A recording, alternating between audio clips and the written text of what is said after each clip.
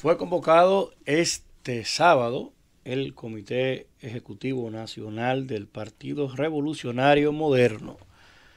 En esa convocatoria se llama a todos los miembros de ese partido, los que son miembros tanto del Comité Ejecutivo Nacional como de los llamados 50, eh, que es la comisión ejecutiva de ese comité, para sesionar en calidad de asamblea de delegados para la proclamación de una parte de los candidatos y candidatas. Y digo de una parte porque en esta oportunidad, este sábado 26 a las 10 de la mañana, la Convención Nacional de Delegados va a ratificar a los candidatos que fueron electos en las diferentes convenciones, o la primaria más bien, y va a constituirse en asamblea para entonces también elegir a otros tantos que se dejó una modalidad distinta.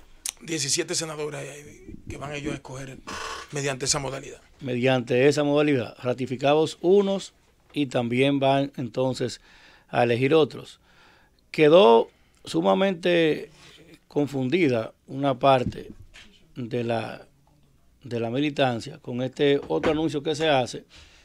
Y de verdad que sería importante que José Ignacio o Carolina Mejía, ambos puedan explicar bien el tema, porque entendíamos que se iba a dar a conocer el 27 y como fecha límite, pero el sábado, que es la celebración de la asamblea, se iba a dar a conocer todo lo que fueron los reservados. Pero según tenemos entendido, no de manera oficial, pero sí de manera pues oficiosa, nos llega la información de que no van a dar ese día a conocer los nombres de todas las reservas, que lo van a manejar hasta el día 15 de noviembre. Hasta el día 15 de noviembre lo que tiene que ver con lo municipal. Correcto. Porque lo más adelante ya... Dicen que el 3 de diciembre es el, último... Explícame bien eso. No, no, el 3 de... El, eh, tú sabes que las elecciones son 90 días antes de las elecciones municipales, de cada elección. Entonces la reserva de lo municipal tiene que depositarse el día 15 con toda la alianza y todo, más tardar el día 15 del mes de noviembre. Y los demás eh, pactos congresuales municipales tienen 90 días para depositar todo ante la Junta que viene siendo en el mes de febrero. El mes de febrero. Esa información que bien la ha completado Eddie Alcántara coloca todavía en una situación más este, incómoda a una parte de los candidatos que supuestamente están reservados, porque se entendía que este sábado quedaba conformado todo el ajedrez, que todos los candidatos que fueron electos en las pasadas primarias cerradas a nivel nacional, pero hay casos que quedan por resolverse.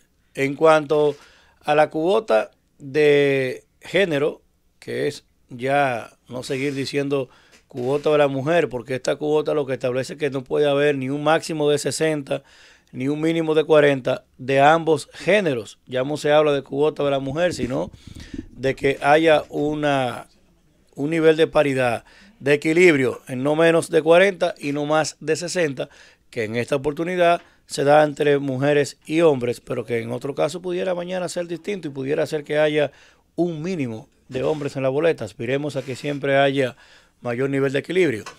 Sin embargo, hay candidaturas como por ejemplo en la provincia de Atomayor, el ex, eh, bueno, el diputado, pero ex vocero del bloque de diputados del Partido Revolucionario Moderno, Ronald Sánchez. Ronald está entre los 38 diputados que el PRM reservó.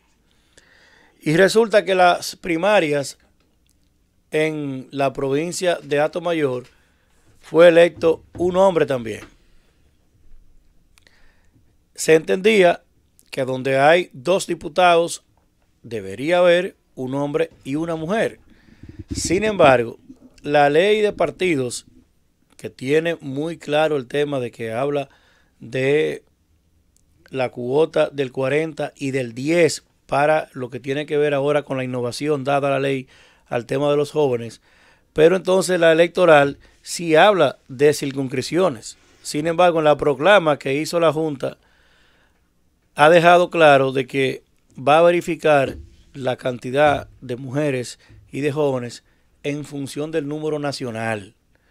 Esto ha dejado a muchos candidatos y sobre todo a muchas candidatas, a muchas mujeres que fueron candidatas, la tiene dando pasos, reuniéndose, haciendo llamados, avisos, porque se entiende que ya era superado este tema y que en las diferentes circunscripciones iba a haber, como en efecto ha sido, un 40% de mujeres y un 60% de hombres. Con este tema de que se pueda cumplir de forma nacional, se está tomando el bajadero de que como hay una cantidad importante de provincias que quedaron fuera del tema este del voto preferencial en función a que no tienen circunscripciones, como es el caso de Monte Plata, en el que de igual manera fueron electos en las primarias dos hombres, fue electo el candidato a diputado Víctor Pichardo, e igualmente fue electo otro hombre. Entonces, ¿cuál sería el, el, el espacio que el partido va a dejar entonces en Monte Plata a una mujer? Entonces, yo creo que tiene que explicarse esta, esta parte muy bien. Deben generar una clara visión de cuál, cuáles serían los casos en los que no. Porque hay gente como el caso del diputado Ronald Sánchez, que fue vocero del PRM hasta hace apenas unos meses que tuvo un correcto desempeño como vocero, que hizo una labor sumamente eficiente como opositor, como vocero de esa bancada, que durante los debates del intento de reforma constitucional, durante ese proceso, Romal tuvo un altísimo desempeño, fue bastante expuesto su rol, bastante confrontativo, generó para el PRM una oposición vertical que incluso en muchos momentos expuso su propio, su propio apremio. Se jugó Ronald La Faja en ese proceso.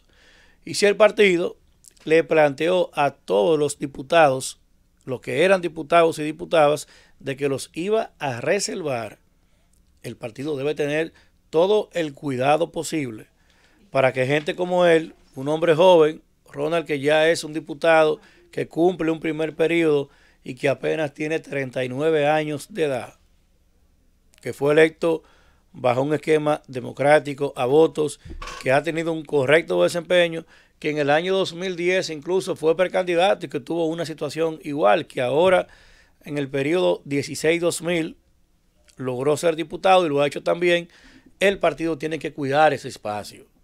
Porque cuando a esos diputados se le dijo que no iban a primarias porque estaban reservados, en una ley que ellos aprobaron que permite un mínimo de un 20%.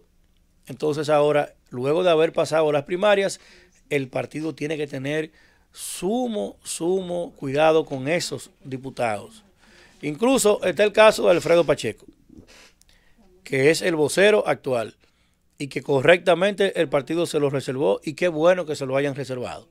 Porque a esos diputados que tuvieron un manejo correcto, que soportaron grandes tentaciones durante el proceso este de intento de reforma constitucional, en el que solo se hablaba de grandes cifras y de presiones de diferentes formas, asumieron con dignidad el compromiso partidario, el compromiso con la propia sociedad y no cedieron ante ninguna presión. Entonces ahora, luego de que se ha electo una gran cantidad de esos nominados, no es correcto que el partido tenga en este momento a esos diputados en ascuas. Tiene que protegerse a esos diputados que tuvieron un comportamiento ético a nivel de las circunstancias y que no abdicaron en su compromiso ni social ni partidario.